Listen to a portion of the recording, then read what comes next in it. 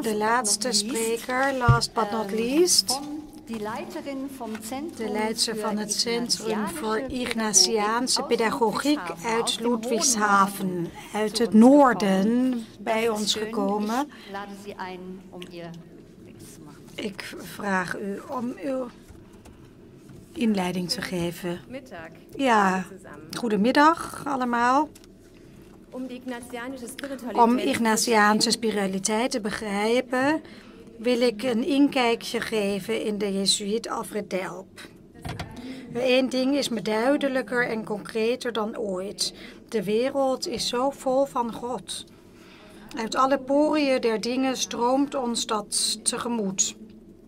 Wij blijven hangen in de mooie en de kwade uren. We doorleven, we doorleven ze niet tot op het punt waar zij uit God voorstromen. Dat geldt voor het mooie en ook voor al het ellendige. In alles wil God ontmoeting vieren en hoopt Hij op het aanbiddende, liefhebbende antwoord.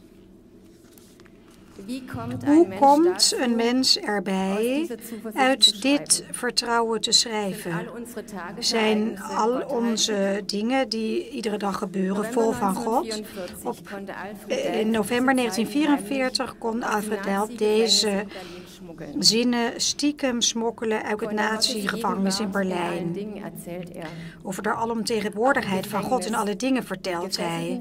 Ook in de gevangenis met geboeide handen, midden in de terreur van het nationaal socialisme en een executie die op handen was.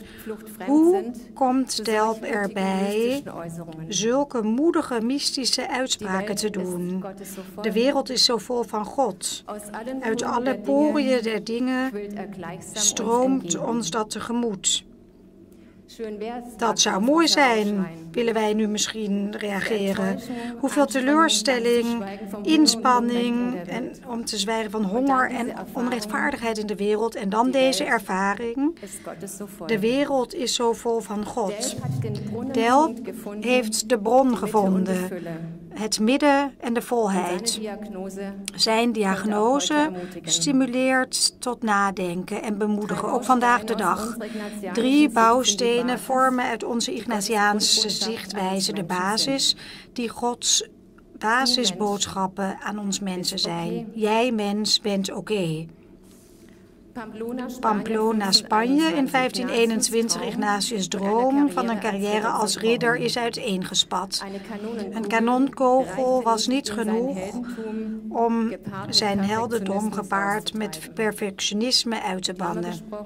Tussen haakjes, een paar jaar later, zal hij met zijn metgezellen de orde van Jezuïeten oprichten, die dan later door de paus als gezelschap van Jezus wordt bevestigd. Maar toen zag Ignatius, zijn grote voorbeeld was Jezus, pas achteraf gezien dat Jezus een andere weg was gegaan. Jezus heeft zich nooit over anderen verheven.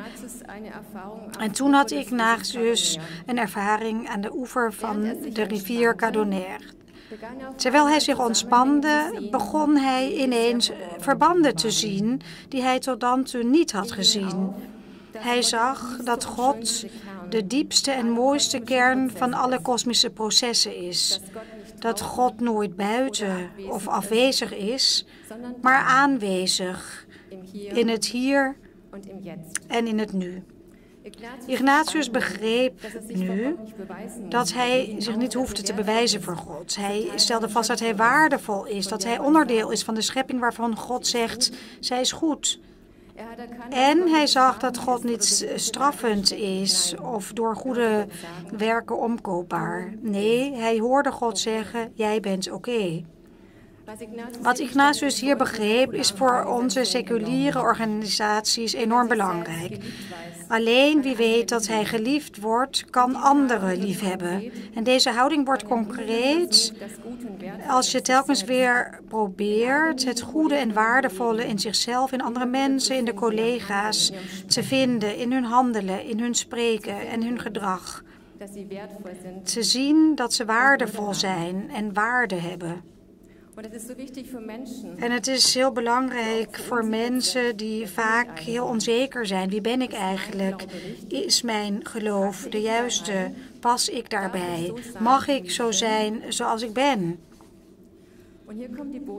En hier komt de boodschap die naar de vrijheid leidt. Ja, jij bent oké. Dat geeft houvast, oriëntatie en dat kenmerkt onze houding.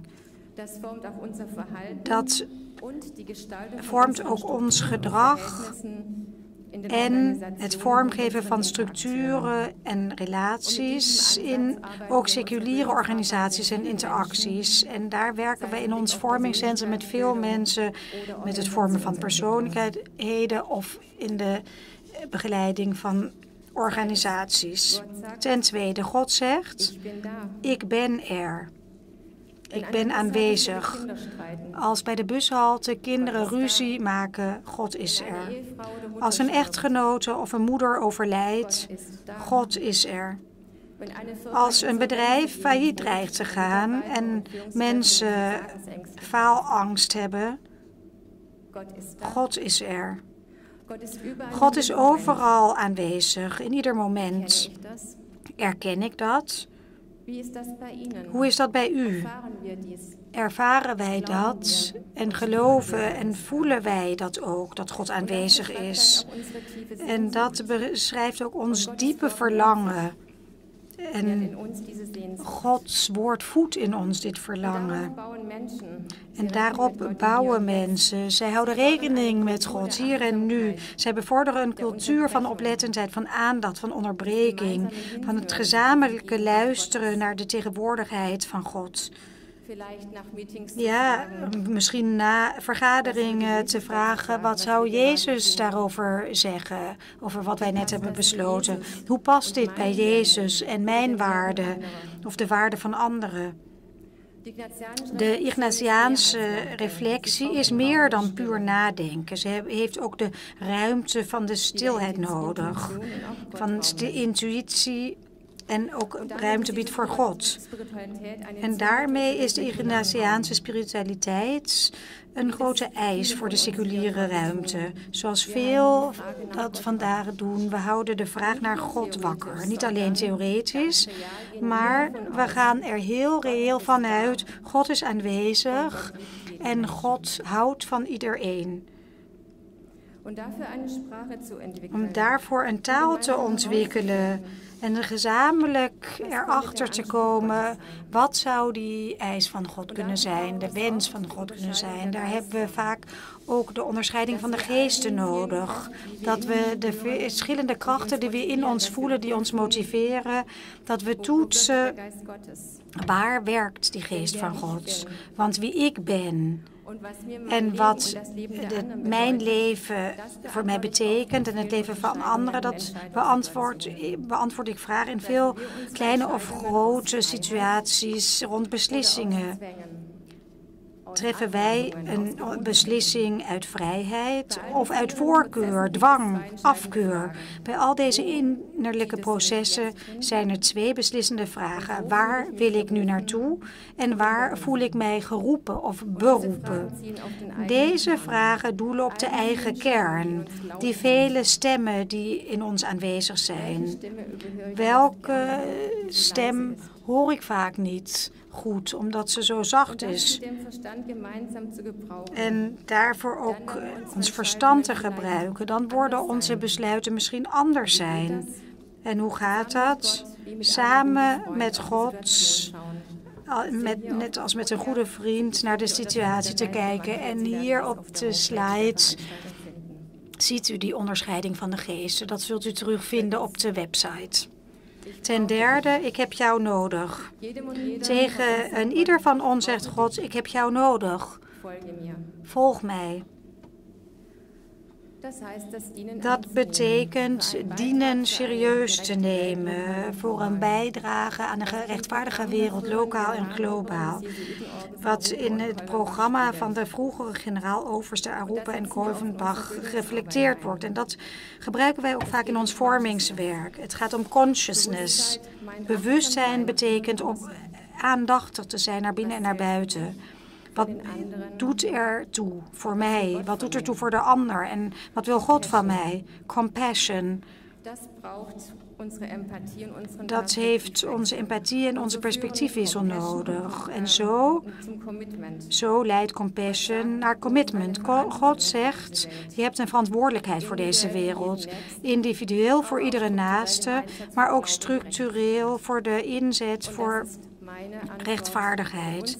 En dat is mijn antwoord of on, op, of ons antwoord op ik ben aanwezig, ik ben er van de Vader. Consciousness, commitment en compassion verbreden onze gereedschappen. Competence en creativity. En pas de juiste mengeling daarvan geeft ons leven en hun organisaties een nieuwe betekenis. Deze vijf C zijn een brug naar de seculiere ruimte, ook naar mensen die misschien vanuit een andere traditie komen, maar die zich ook laten bewegen door vergelijkbare ethos of bronnen. Religie is niet, of godsdienst is niets exclusiefs maar brengt mensen van goede wil bij elkaar. Het vormingswerk met volwassenen of ook in scholen is een geweldige plaats voor de praktijktransfer van deze spiritualiteit. Eigen ervaringen op te doen, te kijken wat zijn mijn verlangens in scholen in privé, of privé van de overheid, in leadership trainings voor leidinggeven, in kerkelijke instellingen en ziekenhuizen, of wereldse ondernemingen die een waardegebaseerde toegang bepleiten en op zoek zijn naar nieuwe wegen.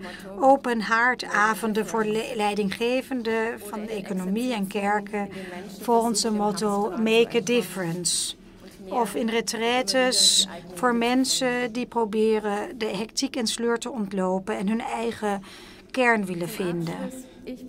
Afsluitend, ik ben ervan overtuigd dat mensen in seculiere organisaties op de basis van deze drie bouwstenen, jij bent oké, ze weten dat ze geliefd worden en daardoor zijn ze innerlijk vrij. Ik ben er, luisteren naar de, het verlangen. Ik heb je nodig, zending, een weg kunnen ontwikkelen die het leven rijker zal maken en ook voor anderen nieuwe perspectieven biedt. Ik ben gevraagd naar een paar persoonlijke woorden en ik ben blij om dat nu met u te delen. Voor mij leidt de Ignatiaanse spiritualiteit naar de vrijheid en daarmee bedoel ik telkens vrijer te worden in Christus.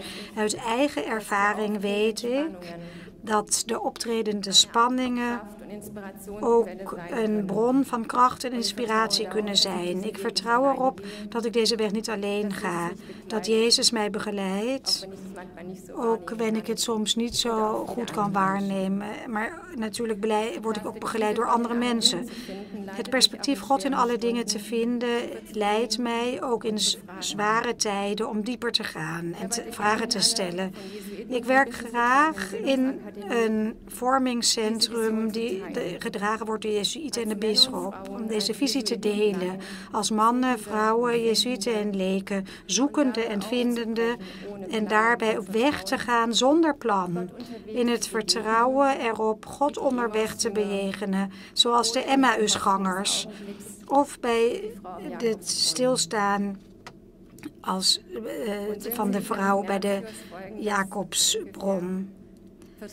Met woorden van Ignatius wil ik zeggen, vertrouw zo op God alsof het resultaat van je werk van jou afhangt en niet van God. En zet je zo in alsof niets door jou, maar alles door God tot stand gebracht zal worden. Thank you for sharing.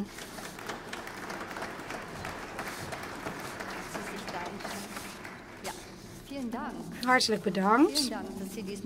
Hartelijk bedankt dat u dit met ons gedeeld hebt.